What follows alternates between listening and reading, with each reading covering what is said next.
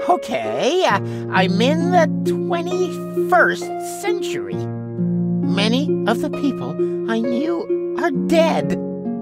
But hey, who cares? I still have my good looks, my unparalleled charisma, and the biggest. Uh, this is a family establishment.